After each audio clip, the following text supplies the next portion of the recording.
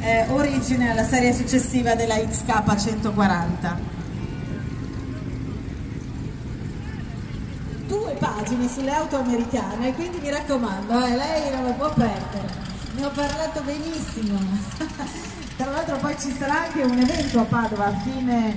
Eh, a